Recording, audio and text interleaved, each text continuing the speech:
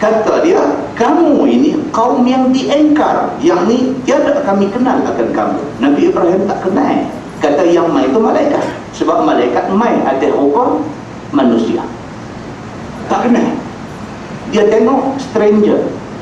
Dia tengok nampak ni outsider. Bukan orang kampung dia bukan orang tempat dia. Ni mesti mai daripada tak tahu mana ni. Yang pastinya bukan orang pakai buntang ini yang kata stranger jadi bila dia tengok dia kata ni siapa ni yang main ni? Maka dia kata hampa ni dia kata yang main ni kaumun mungkarun. Kaum yang diengkari. Maksudnya kaum yang aku tak kenal. Tapi tetamu tak ada masalah. Panggil main juga. Macam tu. Faragha ila ahli faja'a bi'ajdin samin. Maka pergilah Ibrahim kepada ahlinya, yakni kepada khadamnya. Tetamu main. Nabi Ibrahim Nabi Nabi Ibrahim tuan-tuan dia bukan kecil anak. Nabi Ibrahim Kaabah. Kaabah yang kita pergi tawaf tu dia ada jasa pada pembinaan Kaabah itu. Sampai ada di tepi Kaabah tu apa dia? Makam Ibrahim. Tempat tapak kaki dia berdiri masa membina Kaabah dulu. Dia istimewa. Sampai hari ini kita umat Nabi Muhammad sallallahu alaihi wasallam sampai hari ini tahiyat dua sebut lagi dia sebut lagi selawat ke atas Nabi Ibrahim. Maknanya dia bukan kecil anak. Dia bukan calang-calang Nabi. Dia Nabi istimewa.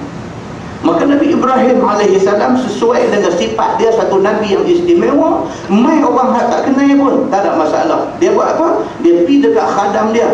Maka bawa datang ia dengan anak lembu. Yang banyak lemak. Yang sudah dibakar. Masak ke hadapan untuk dijamu mereka ini. Itu cara tak kenal kalau kenal. Dan berani ya? Kan? Tak kenal. Ni yang main ni siapa dia? Dia tak kenal. Tapi daripada dia tengok dia tahu dia orang baik. Dia panggil masuk dalam rumah dia. Dia pergi dekat khadam dia. Dia kata hampir ambil kambing hak anaknya daging lembut. Ambil kambing hak anak punya ambil panggang kambing ni. Cari hak lemak banyaknya hak sedapnya hak darah tinggi boleh kena kuat lagi punya Nabi ambil yang tu Dia kata buat bagi spesial dia Masak bagi betul-betul spesial dia Aku nak jamu ni Orang yang mai tak tahu dari mana ni. Tapi aku tahu dia orang baik-baik. Tolong pisah dia kata. Dia buat benda ni. Faqarrabahu ilaihim. Maka menghampir ia Yang ni Ibrahim Akan dia Yang ni akan anak lembu bakar itu Kepada mereka itu Untuk buat jaman. Dia pun bila dah siap masuk Dia ambil Dia main letak dekat Dengan tetamu dia ni. Letak Anak kambing yang banyak lemak yang baru dipanggang duk panas-panas lagi. Dia pergi letak di depan malaikat yang main maka tiada makan mereka itu akan dia. Malaikat tak makan. Dia main pupuh bukan mainnya spesial malaikat tak makan tak minum tak malaikat. Nama pun malaikat tapi dia tak tahu. Dia ingat orang.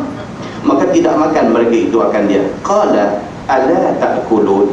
Maka kata Ibrahim kepada mereka ni apa tiada kamu makan dia dah letak dah, dia kata makan dah sila-sila semua tak makan. Dia pun kata, eh awak tak makan ni. Awak tak makan kambing kah? Macam tu. Macam kita lah, orang kita jamu makan. Kita jamu dia tak makan. Kita pun tak tinggi kah? Ada gaun kah? Ataupun nak bungkuk balik kah? Kan? Jadi dia banyak persoalan timbul dalam kepala. Kita tak tahu. Nabi Ibrahim AS pun dia tanya. Dia kata ala ta'kulun? Tuan-tuan saya nak bagi ingat kita duk baca ayat Quran. Ini bukan cerita dongeng. Ha, tuan-tuan jangan duduk dengar-dengar ni. Ayat nampak seronok. Cerita malam ni. Ini ayat Quran. Yang kita duk baca hari-hari yang kita duk khatam setahun sekali sekurang-kurangnya bulan puasa kita khatam Quran tapi malamnya kita tak tahu pun dalam ayat yang kita duk baca ada cerita macam ni. Tapi beruntung kita pasal apa Allah gerak kita. Kita main malam ni. Kita tahu rupanya di antara isi kandungan Quran ada cerita macam ni. Ada cerita macam ni